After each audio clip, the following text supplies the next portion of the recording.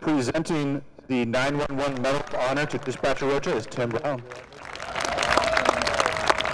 The outcome is tens of thousands of people who've been, whose lives have been saved, whose emergencies have been diverted because these kids can call 911 from multiple types of devices and remain calm through the informational transfer process to the dispatcher. Let's have a big round of applause